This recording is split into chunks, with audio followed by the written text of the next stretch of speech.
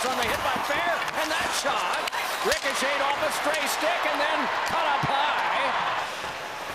And then handed back on to Schenn, and then Pietrangelo, and his stick broke. It.